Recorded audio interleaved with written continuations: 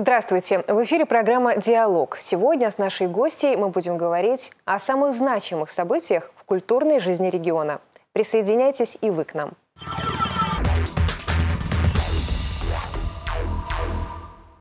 Ирина Викторовна Давгала, начальник Главного управления идеологической работы, культуры и по делам молодежи Гомельского облсполкома. В разное время получила высшее образование на филологическом и юридическом факультетах Гомельского государственного университета имени Франциска Скорины. Закончила Академию управления при президенте Республики Беларусь. Начало трудовой биографии Ирины Давгала в конце 80-х, начале 90-х годов связано с работой с молодежью в пионерской и комсомольской организациях, комиссии по делам несовершеннолетних. В 2003 году она возглавила отдел по делам молодежи Гомельского горосполкома. Начиная с 2004 года, 6 лет проработала в администрации Новобелецкого района Гомеля. В 2010 году стала заместителем, а через год начальником Главного управления идеологической работы облсполкома. В 2013 году его объединили с управлением культуры, отделом по делам молодежи и отделом по делам религий и национальностей. На вопросы, которые касаются организации идеологической работы в регионе, прямо сейчас можно получить ответ, позвонив по номеру телефона в Гомеле 0232 77 68 45.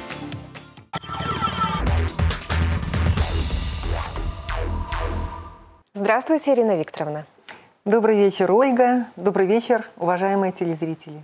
Ирина Викторовна, мы с вами встречаемся в такой немного грустный вечер, потому что последний вечер лета. А чем оно вам запомнится? Ну, давайте мы уже не будем грустить. Ну, почему грустный? Конечно, лето заканчивается. Ну, какой красивый сентябрь нас встречает. Конечно, лето было очень насыщенным. Наверное, самое значимое событие не просто лета, а целого такого эпохального, наверное, значения – это, конечно, Всебелорусское народное собрание, которое было в июне месяце. Это не просто какое-то, ну, очередное какое-то, да, вот просто рядовое мероприятие, а реально это серьезный очень съезд, на котором решались очень важные, знаковые события для всей страны. Как мы будем жить, куда мы будем двигаться и с чем мы придем, с какими результатами через пять лет к дальнейшему развитию нашей страны. Конечно, очень знаково и лето, во-первых, летом был буквально в июле месяце, был принят кодекс о культуре. И учитывая то, что 2016 год – это год культуры, объявленный президентом нашей страны, было просто колоссальное количество различных выставок, концертов, гастролей и так далее. То есть все то, что было связано и то, что прославляло нашу страну и показывало ее гостеприимность и так далее. Поэтому очень насыщенное лето, и я уверена, что будет не менее насыщенная осень. Да, осень действительно будет интереснейшая. Уважаемые телезрители, не уходите далеко от телеэкранов. Вы сегодня узнаете очень о многом. То, чего не стоит пропустить. Ирина Викторовна, ну, завтра 1 сентября, тем не менее. А, с какими воспоминаниями у вас связаны школьные годы? Вы хорошо учили в школе? Да, я хорошо училась в школе. Были отличницей? Ну, нет, не отличницей, хорошисткой. Хорошисткой. А какие предметы были самые любимые? Вы знаете, самые любимые были все-таки больше гуманитарные, потому что я просто обожала литературу, э, русский язык. И, наверное, это и сделало, так скажем, свой э, выбор, потому что первое образование у меня филологическое. И, наверное, это и дало свой такой вот от, толчок, наверное. Вот. Ну, немножко сложнее было с точными науками. Математика как бы хорошо. Я, конечно, ну, это хорошо, есть эти гаджеты, на которых можно посчитать на компьютере или в телефоне, да, на калькуляторе какие-то моменты. Ну, это шутка, конечно. Вот. А воспоминания, конечно, в первую очередь это люди, это одноклассники и преподаватели. Люди, которые оставили определенный след, э, абсолютно теплый, потому что спустя столько лет э, после окончания школы э, все равно вспоминаем вот и друг друга, и вечер встречи с выпускниками. Это всегда очень добрые и теплые воспоминания и абсолютная благодарность нашим преподавателям. Это большая ценность, если удалось сохранить такие да. действительно теплые дружеские отношения. Да. А что бы вы хотели пожелать сегодня школьникам и студентам, которым завтра садиться за парты? Вы знаете, наверное, в первую очередь, вот, дорогие наши, все наши ученики и наши студенты, не плыть по течению, верить в себя, и все будет отлично. Известный советский пианист и педагог Генрих Нейгаус говорил, что таланты создавать нельзя, но можно и нужно создавать среду для их проявления и развития. Является ли такой средой работа наших школ искусств, наших музыкальных, художественных и хореографических школ и студий на Гомельщине? Это не просто кузница. Вы знаете, при тех моментах, которые вот сегодня даже с экономической точки зрения связаны, идет, конечно же, оптимизация. А, какие-то учреждения укрупняются, то есть путем объединения. Но остается главное. Сегодня а, в Гомельской области вот это э, учебное, именно творческое пространство совершенно замечательная площадка для наших ребят. Потому что у нас 56 школ искусств, и на сегодняшний день, так скажем, и хореографические школы, и художественные школы – это все те учреждения, которые не просто должны, так скажем, принять, но найти в каждом ребенке, который туда пришел, вот эту частичку великолепного таланта и раскрыть ее. Потому что настолько у нас замечательные дети, и всегда ведь говорят, что результаты ведь э, просчитываются, так скажем, и видны не только количеством дипломов, хотя это очень важно тоже. И могу вам сразу сказать, что у нас есть и стипендиаты, и дипломанты, и стипендиаты э, президентского фонда, и на участие в международных конкурсах. И это совершенно потрясающе. Что можно говорить, если только взять наш конкурс «Музыка надежды»? В этом году этому конкурсу 20 лет – ни один год не обходился без увеличения числа участников, которые собирают из разных стран. Но в этом году у нас есть самое главное событие к этому конкурсу. Я просто не могу вам передать, какое вот вообще несказанное чувство гордости, потому что именно благодаря э, фонду президента мы выиграли грант, и в этом году э, колледж имени Соколовского получил великолепный по гранту президентскому великолепный концертный рояль. Это чудный подарок, который только можно вообще вот преподнести нашим вот, э, учащимся и нашим преподавателям, вообще творческой части. Заслуженный. А, Абсолютно. Конечно, успехи наших, без сомнения, талантливых детей очень во многом зависят от того, насколько чуткие, насколько умелые попадутся им преподаватели, насколько они смогут зажечь своим огнем и передать все, что они умеют. Ирина Викторовна, хватает ли сегодня в этой сфере таких людей, педагогов?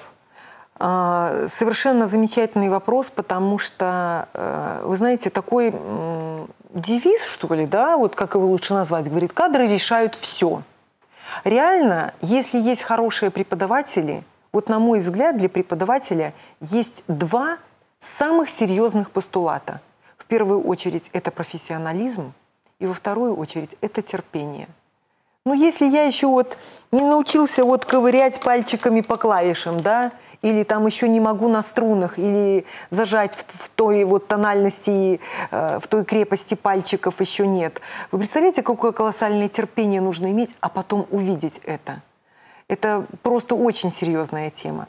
Но при этом у нас а, практически половина преподавателей имеют высшее образование, потому что у нас сегодня в Гомельской области у нас и колледж имени Выгодского, и колледж Соколовского – и э, наш Мозырский колледж.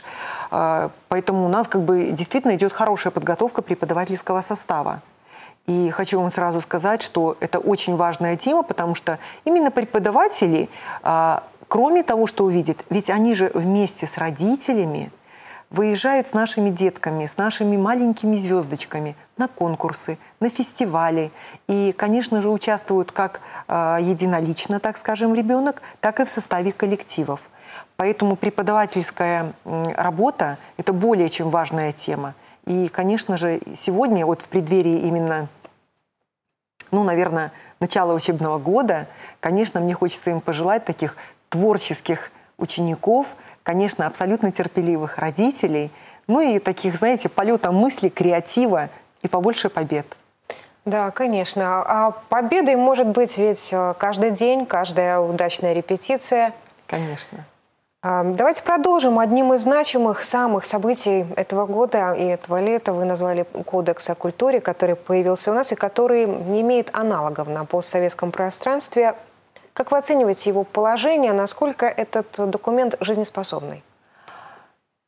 Вы знаете, в течение многих лет вообще в целом в сфере культуры принималось очень много, ну, я бы так скажем, наверное, понимаете, такого локального характера а, нормативно-правовых актов.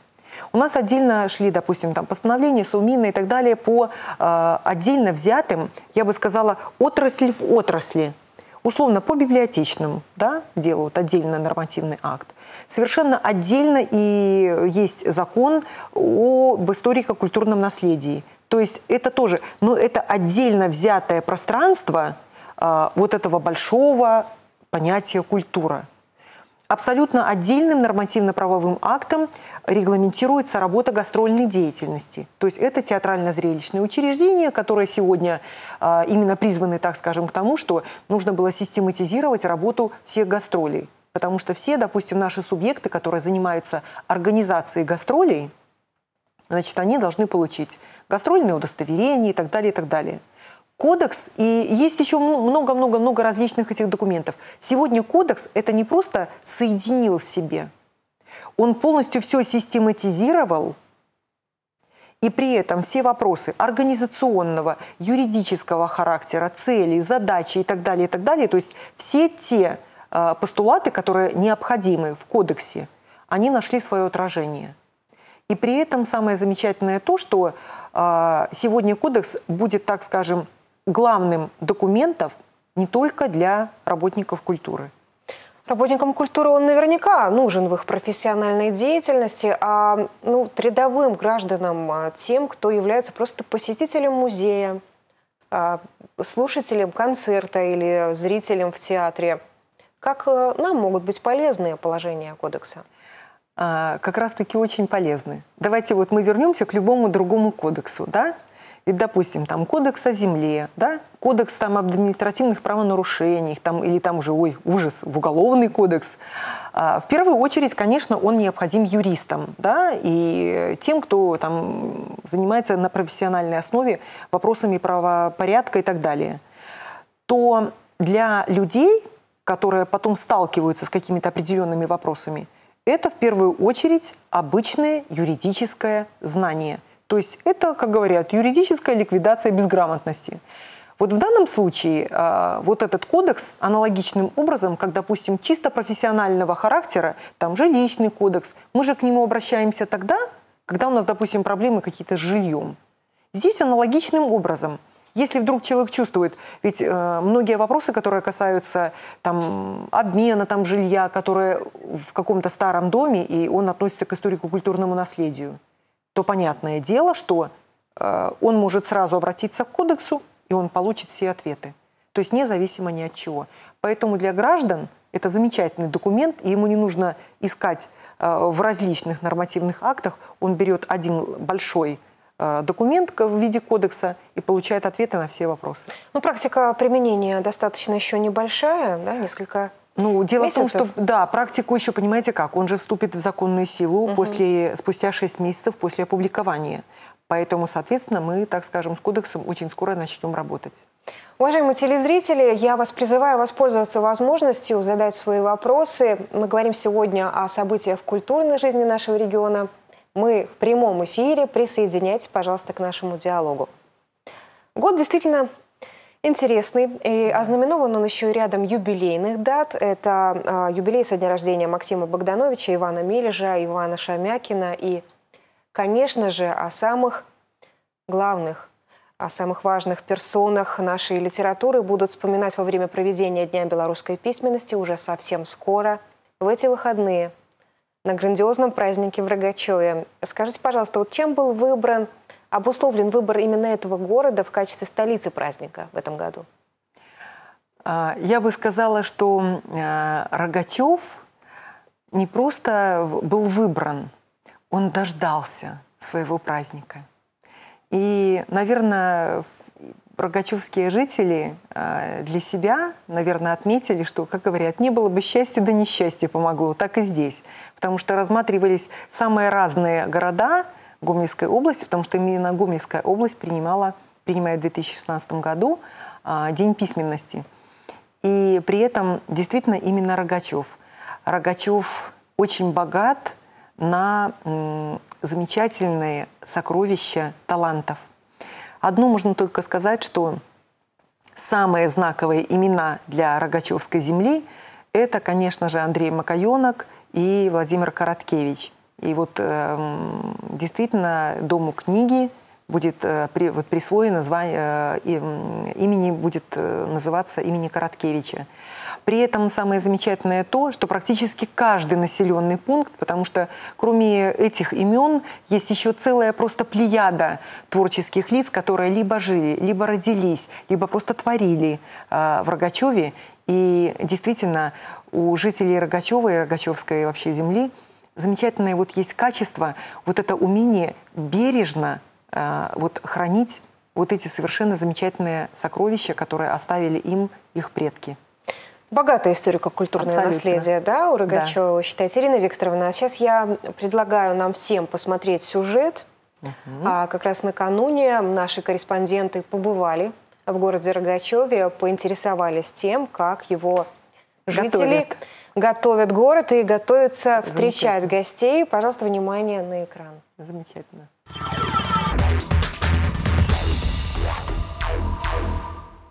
В Рогачеве работа кипит буквально на каждом углу, как на центральных улицах, так и на въезде в город. Всего ко Дню белорусской письменности планируется отремонтировать, реконструировать и благоустроить более 40 объектов городской инфраструктуры.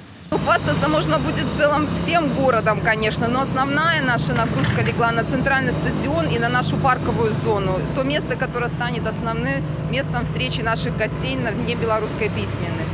За последние месяцы была проделана колоссальная работа, и Рогачев начал приобретать свой новый облик. В частности, много сделано по программе развития жилищно-коммунального хозяйства. Это и капитальный ремонт с элементами утепления, благоустройство и озеленение территорий. Мы, конечно, очень счастливы э, в городе, что у нас пройдет такой праздник, что нам выпала честь вот, принимать гостей и э, писателей, поэтов и других э, Э, людей, которые приедут к нам на этот праздник, город преображается. Он становится совершенно другим, прекрасным. Ну, еще идут, конечно, э, подготовительные работы, но уже видны результаты этого труда. Один из самых значимых объектов, который торжественно откроют 4 сентября в Рогачеве – Дом книги имени Владимира Короткевича. Помимо библиотеки, здесь расположится книжный магазин, появление которого давно ждали жители райцентра. И хоть пока он работает в тестовом режиме, уже отмечается большой интерес со стороны местных жителей. Люди узнают, идут, нравится, говорят, что магазина у нас такого, ну, прям, ну, катастрофически не хватало. Вот, идут учителя. Раньше все наши учителя ездили в Минск и в Гомель за литературой, которая им нужна. Вот сейчас все есть на месте. Помимо магазина и библиотеки, в Доме книги также будет расположен отдел для юных читателей. Ранее он находился в другом здании и не соответствовал современным требованиям. Сейчас же это комфортный и уютный уголок для детей, где они смогут узнать много нового и интересного из мира литературы. К тому же их обещают радовать проведением всевозможных увлекательных игр и викторин. Та библиотека была очень маленькой, а сейчас она больше, просторней и красивей. Обращает на себя внимание и оригинальное творческое оформление помещений Дома книги. К примеру, когда поднимаешься по лестнице с первого на второй этаж, на стене можно увидеть иллюстрированные в хронологическом порядке книги белорусских писателей. От Библии Франциска Скорины до современных произведений. Привлекут внимание и необычные литературные часы. На циферблате вместо цифр будут присутствовать книги, в названии которых присутствует определенная цифра. Например, вместо цифры 3 – 3 товарища, 12 – 12 стульев, ну и так далее, и так далее. Э, единственная загвоздка, механизм прибудет немножко позднее. Это будут э, стрелки более полуметра, большие, тяжелые. Механизма нет в Беларуси, он едет к нам из-за границы, но на День письменности он к нам доберется, и в День письменности часы дают свой старт. Всего в программе Дня белорусской письменности планируется около 70 мероприятий. В их числе научно-практическая конференция, выставка СМИ Беларуси, праздник литературных дожинок. Интерес вызовут всевозможные подворья, а также такая новая форма развлечений, как литературные квесты.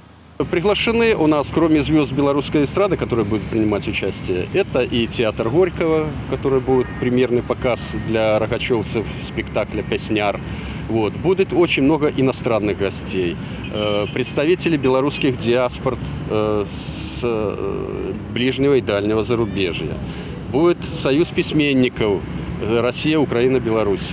Традиционно праздник белорусской письменности проводится в городах-центрах просвещения, культуры и книгопечатания, местах с богатым историческим наследием. К таким, безусловно, относится и Рогачев, в котором после проведения Дня белорусской письменности будут продолжены славные традиции, заложенные много лет назад.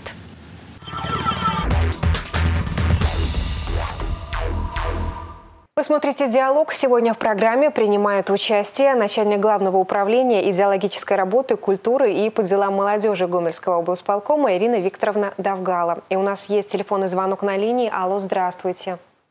Добрый день. Мы вас слушаем. Вот у меня такой вопрос. Я из Мозыря и хочу спросить, как можно приехать принять участие э, в Дне письменности Рогачеве? Вы хотели бы приехать в Рогачев, ну, конечно, да. да. Дорога из Мозыря, здесь нужно продумать ваши транспортные перемещения. Ирина Викторовна, а продумали ли этот вопрос? Как добираться к гостям? Конечно. Вы знаете, мы как раз-таки всегда думаем о том, что помимо самих жителей города, столицы э, белорусской письменности, конечно же, город всегда ждет гостей. И поэтому сразу вот могу сказать, и для сведения не только жителей Мозыря, а, это и город Гомель, и Жлобин – Э, будут организованы специальные рейсы э, автомобильных транспортных средств, в основном это будут автобусы и микроавтобусы, для того, чтобы подъехать. Мы ориентируемся, чтобы успевали приехать к началу праздника. Торжественное открытие планируется в 12 часов. Поэтому на автовокзалах мы специально делаем не только афишу праздника, чтобы вы видели, э, что, где и во сколько будет проходить, ну и, соответственно, будут организованы э, подъезды э, на автотранспорте. Кроме этого, мы отдаем нашим туристическим фирмам, нашим турагентствам специальную информацию, и по, по заявительному принципу они смогут организовывать дополнительно подъезд к, праздник, к праздничным нашим площадкам. Поэтому приезжайте, вы просто получите удовольствие. Спасибо. Успеют ли все разъехаться, Ирина Викторовна, да? Да, Домой. и вот и на отъезд, кстати, да, на отъезд то же самое. Значит, э, на отъезд будет аналогичным образом, э, значит, э, представлены транспортные средства, потому что в 20 часов планируется торжественное закрытие, и до 22 часов будет идти концертная программа с церемонией закрытия. Ну и, конечно же, в 22 часа завершится все праздничным фейерверком, и, э, соответственно, будут предоставлены еще дополнительные транспортные средства для того, чтобы гости и участники праздника могли уже уехать домой. Наверное, есть какой-то определенный пиетет вот перед этим праздником, потому что все-таки это не какое-то народное гуляние, это День белорусской письменности. И, может быть, люди опасаются, а, а нужны ли они там, а смогут ли они себе там найти занятия. Может быть, это фестиваль только для представителей творческой, творческих кругов, творческой интеллигенции. Вот развейте такие опасения, если они есть. Вы знаете что? А, это не просто, как это говорят, узкий праздник, да? Это настолько вот самая главная его цель – это в каждом человеке пробудить вот это внутреннее главное состояние, что ты белорус. И твое главное историко-культурное наследие – это язык, это литература, это то духовное наследие, которое ты должен передать сегодня для завтрашнего поколения.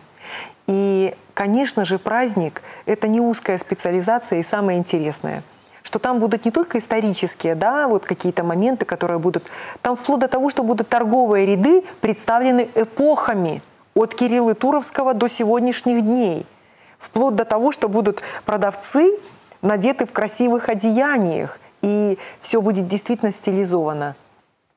Я не могу вам сказать абсолютно вот только эти или эти площадки посетите. Могу вам сразу сказать, что спектр а, праздника очень большой.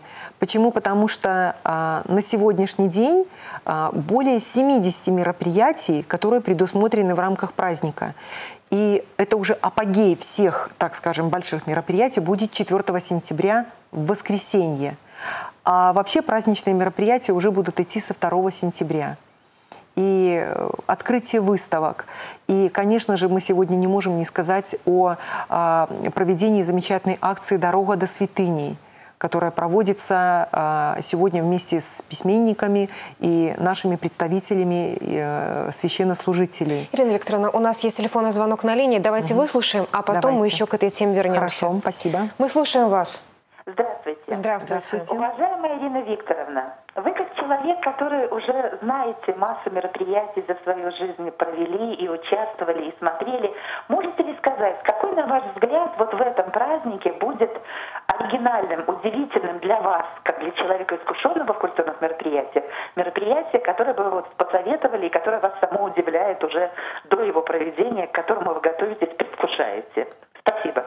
Спасибо, Спасибо большое. Да, Ирина Викторовна, что вот вам интересно посетить в Рогачеве больше Вы всего? знаете, что самое интересное? Вот мы за это время ездили достаточно много по разным праздникам, да, ведь каждый год а, каждая область становится какой-то один из районов. В прошлом вот году Щучин, да, там Заславль буквально вот э, два года назад были и так далее. Но если есть определенная направленность, то мы ни в чем не стараемся повториться.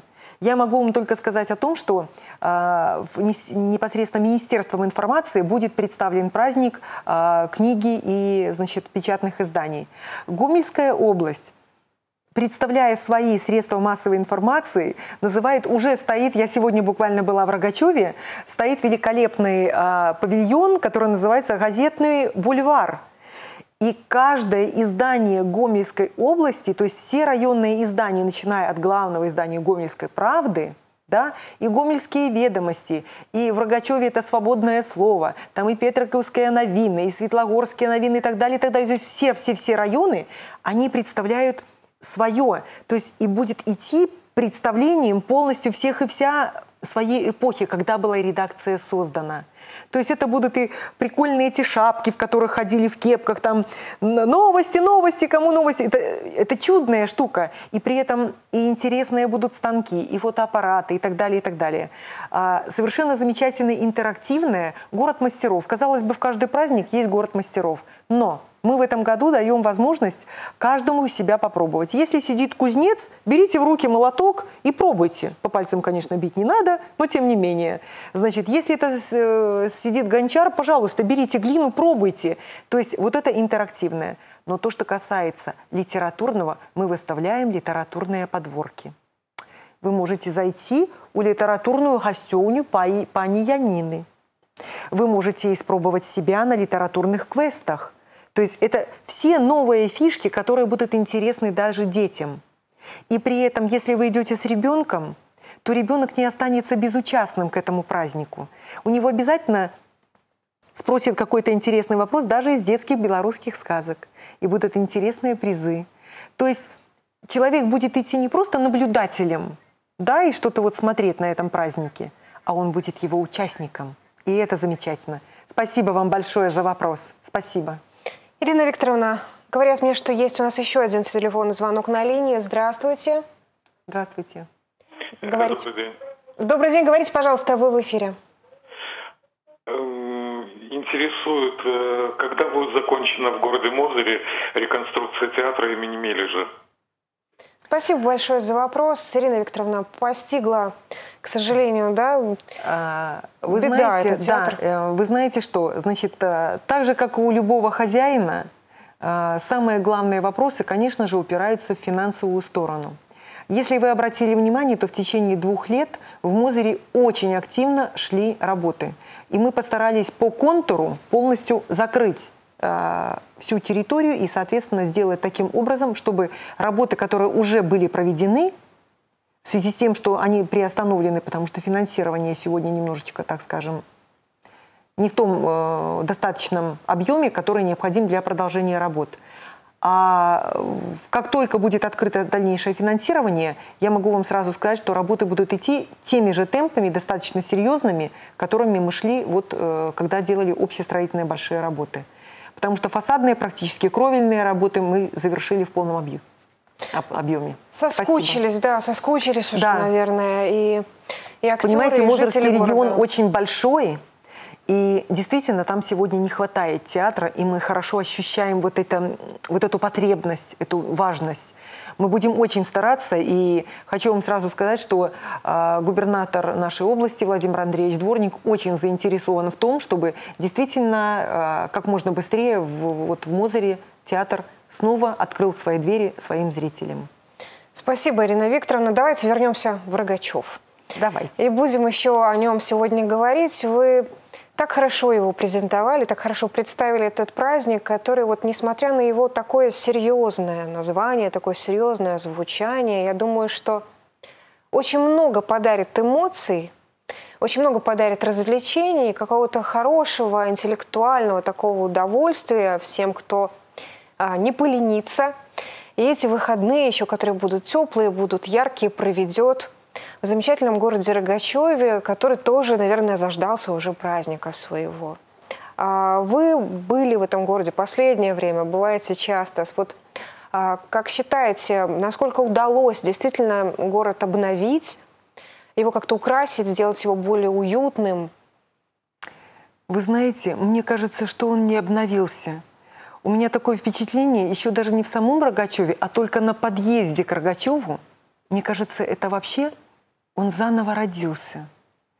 Потому что даже подъездные пути, причем они со всех сторон, это и со стороны Бобруйска, и со стороны Гомеля, и со стороны там Жлобина по тем трассам, по которым мы едем, это просто нечто. Дороги расширились. Это вычищено все, очень красиво. И вы знаете, как хорошая хозяйка, которая готовится к приему гостей, буквально во всех отраслях это и жилой сектор, это и учреждение образования. Сегодня средняя школа номер три, это, наверное, просто детище. Завтра просто дети не поверят, они не узнают свою школу. Это и вопросы, которые связаны с нашими учреждениями культуры. Мы уже говорили сегодня о Доме книги. Музей. Приходите в музей. Вы увидите новое чудесное учреждение. Это, конечно же, школа искусств в новом дыхании. И площади, четырехполосная дорога. В общем, а парк, а набережная – это же просто чудо, которое раскрылось. Поэтому город просто получил новую жизнь. Остается только пожелать хорошего праздника, хорошего времяпрепровождения организаторам, хозяевам, да. гостям праздника. И еще хотелось бы одно знаковое для нас мероприятие сегодня обсудить. Это культурный бренд нашего региона. Это фестиваль под названием «Зов Полесья», который проходит в Лясковичах. В этом году, в конце сентября, уже второй, второй да, раз он примет гостей в статусе международного фестиваля. Да. Расскажите, пожалуйста, какие изюминки готовите в этом году, чем будете удивлять? Ну, сразу вам скажу, что решением э, Республиканского оргкомитета уже принято решение о том, что э, фестиваль «Зов Полесья» будет проходить 24 сентября. И сразу хочу сказать, что действительно в статусе международном сегодня э, уже идут к завершению переговоры с теми странами, которые будут принимать участие. И сразу хочу сказать, что это будет очень интересно. Мы всегда ищем что-то новое – и хочу вам сразу сказать, что в этом году вся вот эта а, вот эти подворья, которые ну, уже знают те, кто приезжал да, на праздник, то, конечно же, это мы придумали, и это наша, так скажем, новинка. А, все будет в виде одной деревни, которая будет иметь свои улицы. И каждая улица будет представлять определенный обряд – то ли невесту выдают замуж, то ли это крестины ребенка, то ли это праздник урожая. И вот эти обряды, вот это сохранение, почему этнокультурных? Это сохранить то самое древнее, что так важно и так дорого для того, чтобы вот эту историю сохранить. Поэтому замечательный совершенно. Не могу сегодня не сказать о том, что мы привлекаем малышей. И у нас будет совершенно замечательный праздник «Пирозвон талентов». Это когда маленькие детки будут с определенными, так скажем, своими интересными, а, значит, эм, как это правильно сказать, э, когда ручками мы там ткем что-то, делаем и так далее, а за ними будет стоять известный мастер. И вот эти все малыши, когда нет кому отдать свое творчество, будущего нет. И еще будет много-много всего. Приезжайте 24 сентября в Лясковичи. Да, можно сказать, что уж чего-чего интересных идей у наших работников культуры, но хоть Много. отбавляй, и хватит их не на Много. один фестиваль. Да, можно каждые выходные хорошо фестивалить, как да. Э, говорят. Ну, а кого приглашаете, кого ждете в этом году? Потому что гости едут, вроде бы мы о славянской культуре традиционной говорим, да, да? а гости у нас приезжают, ну, даже из экзотических стран. Вы знаете что, мы э, на прошлом фестивале были просто, конечно, поражены, когда у нас э, просто они просили, пожалуйста, вот нам как бы вот поучаствовать. Это якуты были и Китай – и самое замечательное, насколько их принимали, насколько тепло. То есть сегодня нет границ в культуре, и это замечательно. Поэтому я еще раз говорю, я не хочу раскрывать все, э, так скажем, интересные фишки, и думаю, что нужно приехать на праздник. Принимать гостей полишуки умеют, это да. точно. В этом году молодежь Гомельщины получила еще одну возможность прекрасную проявить себя, реализовать себя, заявить о себе через участие в акции под названием «Моей Украине». Ирина Викторовна, ну вот какие идеи вас ну, так удивили? Поразили приятно, конечно же. В первую очередь, вообще это вообще этот эм, э, это бренд, это, это такое детище. И когда мы видели отношения нашей молодежи, Маёй краіне моя повага, маёй краіне моя подяка. Понимаете, моей краіне моя справа. То есть вот у каждого, когда есть искренняя внутренняя потребность у молодежи отдать частичку самого себя своей стране, а не ждать, а что мне сделают? Да не надо, нужно делать самому. И вот сейчас а, небольшая сумма, но тем не менее у нас идет по, на спецсчет, который мы открыли в Беларусьбанке э, непосредственно для Фонда мира. Это специально именно э, деньги, которые по целевому назначению пойдут для э, наших оформления наших площадок.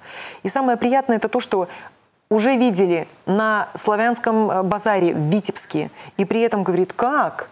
И совершенно замечательно, что и благо... вот такие совершенно добрые дела, которые на благотворительность были направлены. И наша молодежь – это неплохая, это замечательная молодежь, у которой море добра, море тепла и море идей.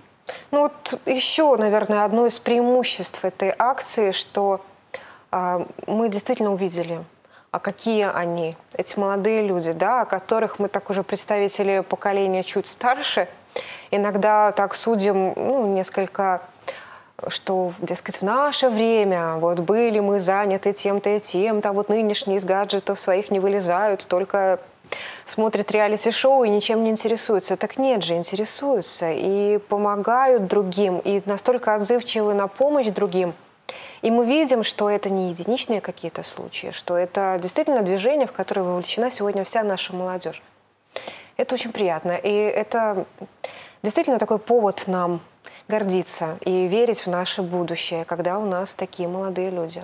Я вам только скажу одно. Говорит, поколения разные, люди одинаковые. Говорит, позвольте другим быть другие, э, другими. Это другое поколение, и они будут другими.